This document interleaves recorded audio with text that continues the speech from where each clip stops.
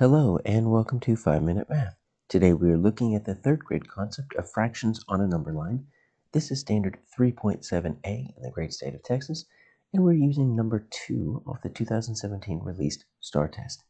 If you have not done so already, please go ahead and take a moment to pause this video, work the problem out on your own, unpause it, and then we will look at our answers together.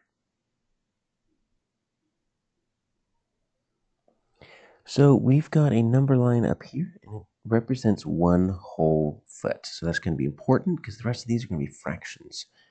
Now, they purposefully do not line up this one.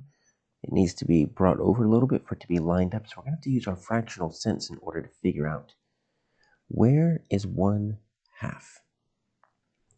Well, let's figure out what we what we can about some of these fractions. So the way we're going to be looking at these fractions is we're going to be looking at how many spaces there are, and that's going to be your denominator. So the denominator is going to be the bottom number. And it tells you how many total things there are, whether it be total parts, in this case, we're looking at total spaces in between 0 and 1.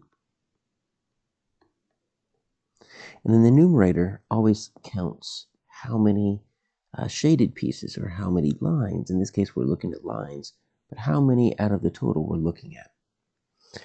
So in F, we've got one, we've got two spaces, but you know what? Those spaces are not even.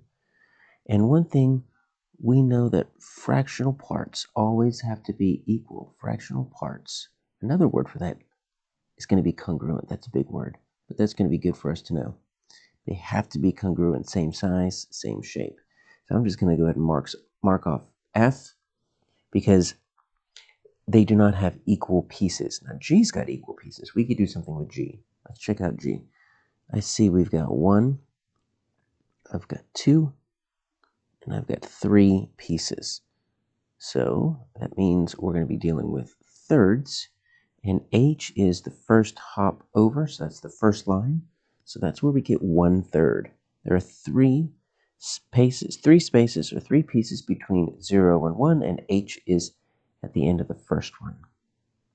All right, so uh, let's look at answer H. We've got one, two, three. We've got fourths here. They are even. And H right here is at the end of the first one again.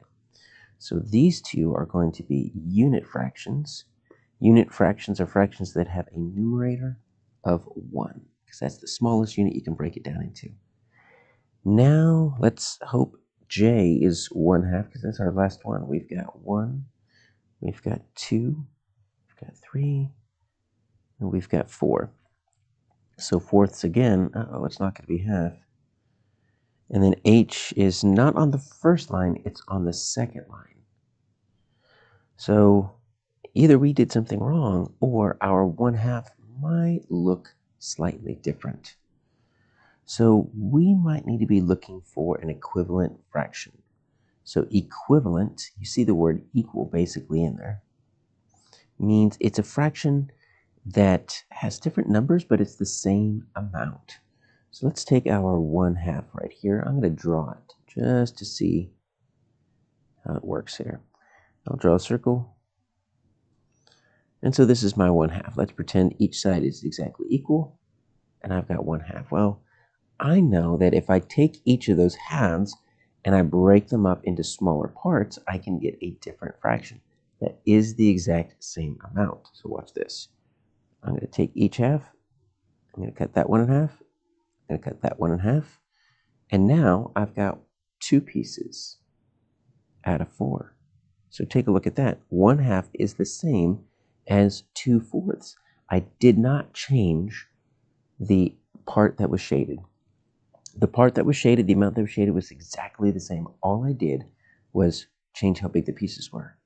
So if I were to take a look at my J right here and say I've got two big pieces, if I were to ignore these little lines right here, I say I've got two big pieces. They are equal.